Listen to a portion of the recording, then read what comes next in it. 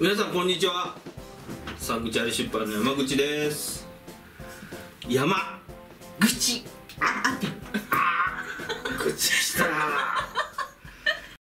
えー皆さんこんにちは。ということで、えー階段を登っただけでめまいがする山口でございます。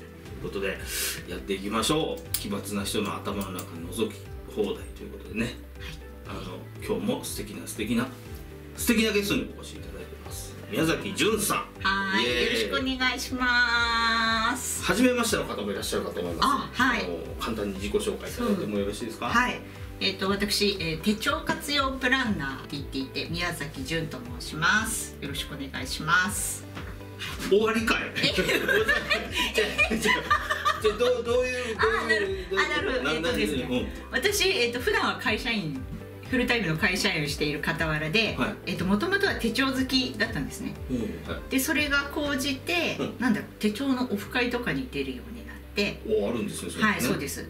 でそこからイベントを主催していたのでその人たちが。うんでそのイベントにスタッフとして参加するようになってうんうん。でそこの代表になって。大代表になった。はい。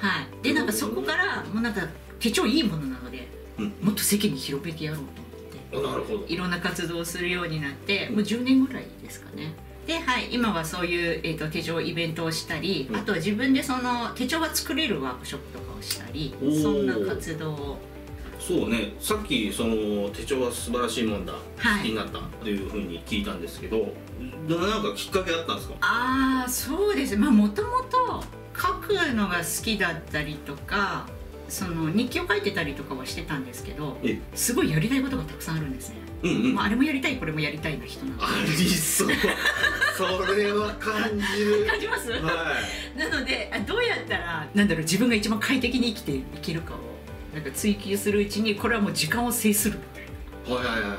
なでなんか手帳を使うみたいなおだって普段はねおお勤めされててってことですもんね、そうですね。おおはい。どうなんですか？いろいろこうやりたいことがあって三日坊主じゃないですか。いやそう結構習慣の鬼です。マジですか？えー、ななんでそうなれるんですか？基本的に習慣にするのが得意っていうかやっぱ手帳で習慣づけるような仕組みを作るなんか面白そうじゃない？なんか。なんいやあのなんか結構ねその自分もそうだからかわかんないですけど、三日坊主になっちゃうことが多いんですよ。やりたいことって今すごいこう多様化しててあれもいいなこれもいいなってなっちゃう。確かに確かに。あのねでもよくみんな三日坊主って言うんですけど、はい。自分そしたら三日坊主も繰り返せば習慣になるよみたいポジティブ。な3日やってやめても次また3日やったらあなるほど、うん続けてることになる。あ休んでもいい。あそうそうやめなければいいのよ。あなるほど。別に週に1回でもいいし。やめなければ。いやあの間空いた一日へこみません。なんかこう。いやあーいっちゃった。え別に大丈夫。次やればいいから。マジか、うん。そそれを例えばその手帳にこうんう書いてあったら、その間が開かないとかそういうこともあったりするんですか？あまあ飽きにくくなるっていうかやっぱほら積み重ねが自分で目に見えたらはいはいはあ頑張ろうとか思うじゃないですか。い奥さんそうですか？はいだと思います。の奥さんは、ね。なるほど。結構ねもう楽しいからどんどん話がずれちゃうんですけど、うなんかど僕ね女性の方の方が手帳いっぱいつけてるような気がするうんと体調管理とかもやっぱしやすい？女性ってその体調管理結構波があったりするじゃん。そうですよね。そういうのもやっぱ書いて目に見えるようにすると、うん。この時期体調悪いなと思って前の見ると、あなるほどこの時期あれだみたいなのも分かるし気をつけようとか思うじそういうことだ。ゃん、うんうんうん、逆に男性だったらどうなんでしょう？でも男性とかでも、うん。なんだろう。続く話習慣化の話にな習慣化っちゃうんだよねの話。一番なんか習慣化の話でいいのは、うん。今自分がなんか当たり前にしてることにくっつけるまあなんか息をするようにやってることって何かありません？あのなんか毎日トイレに行く時なんかするとか。あまあ本が置いてあるから、うんあそういうことか。あそうそうそうそうそうそうそう。なんでも話せますね。そうそうそうそう。でもそういうもんなの手帳って。はあ手帳。あよかった。手帳に戻ってきてよかった。なんかできそうな気になってきた騒ぎになってくる。さすが。いやいやいいですね。だってさすがですね。その何？いい、ね、10年ぐらいそういうこう、えーと、とイベントとか、はい、そういうのをされていて、はいはい、お一人でこう打ち出すようになったっていうのは？いつ頃からなんですか？ああえっ、しっかりやりだしたとそうですね。しっかりやりだしたのは、うん。この手帳活用プランナーって名前を付けたのはうん。4年前ぐらいかな。あ4年前。コロナの1年前ぐらいでうんうんでコロナのちょっと前から割とその活用ワークショップとかを始めてうん。しっかり本当にいわゆるちょっと職業的にもうちょっと立ち上げたのは本当に去年ぐらい。もうなんか一人で好き勝手に好きなことだけをやってきたんですけどなんだろう。うん意外とその自分のお話とかが人の役に立てるみたいこの短い時間でも結構気づきが ありましたし、なんかそうするとうん。なんか自分いろんな人にお世話になってここまで来たので、うん。恩送り。お返しはできないから恩送り。をしたいなっていうのもあって。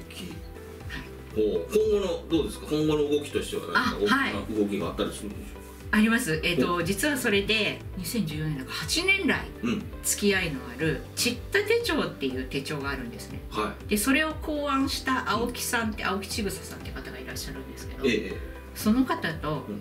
ちょうど来週ですね、はい。一般社団法人日本手帳クリエイター協会っていうのを立ち上げます。ほうそれ、はい。どどんな感じなんですか？クリエイターっていうことはその手帳クリエイターってことそうですね、えっと、私はずっとその活動してきた中でもう手帳っていうものを通して人とのつながりの場を作りたいっていう。うんうんうん。あとはその手帳の普及進行はいはいはいっていうのと、うんあの手帳と手帳にまつわるいろんなものを作ってる人とかって結構いらっしゃるんですね。一人分メーカーさんとか個人でやってる方とか。はい。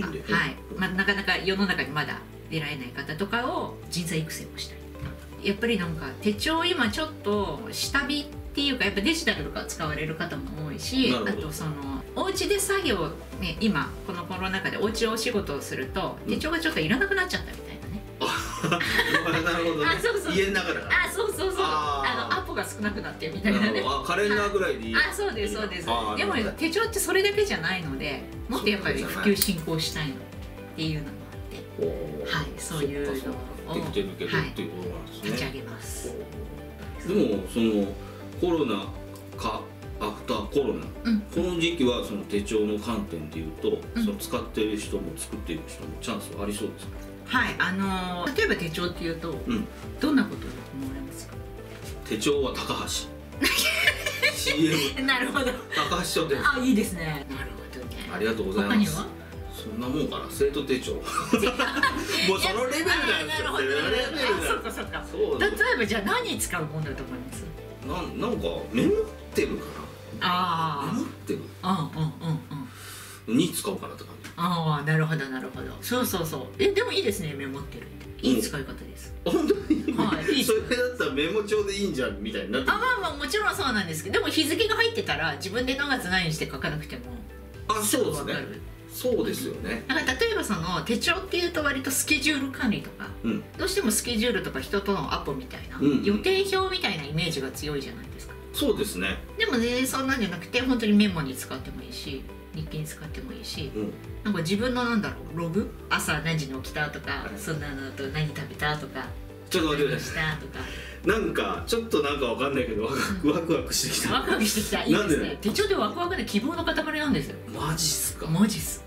これ来週聞いてもいいっすか？あもちろん実践編みたいな感あ。じちょっと聞いちゃってもいい？面白いです。えみんな手帳使ってる？使ってる。使ってない人見てたら？いや使おうよ。結構上からや。使おうぜみたいな。キャラがもうねあのキャラが素敵なんで。とにかくあのちょっと来週聞いてみるのとはい。あともうこの時点でもう好きになりましたよって方もいらっしゃるし気になるっていう方最新情報は下にあの貼っておきますのでツイッターとか、あやってます。はい。うん、フォローしていただいて、はい、私めめちゃめちゃ SNS 中なので。SNS 中。いろいろやってそうだぞこれは。じゃあ来週に続くということでありがとうございます。ありがとうございます。ご視聴ありがとうございました。本を読まない人のための出版社サンクチュアリ出版 YouTube チャンネルは人生や働き方を変えるヒントになるようなインタビュー動画を提供しています。人気の著者たちやインフルエンサーたちは普段どんなことを考えてどんな風に行動しているのかここでしか聞けない彼らの思考パターンや行動パターンをたどることによってもっと自由に楽しく生きるコツを皆さんと一緒に学びたいと思っています。いっぱい笑える人生にしましょう。ぜひチャンネル登録お願いします。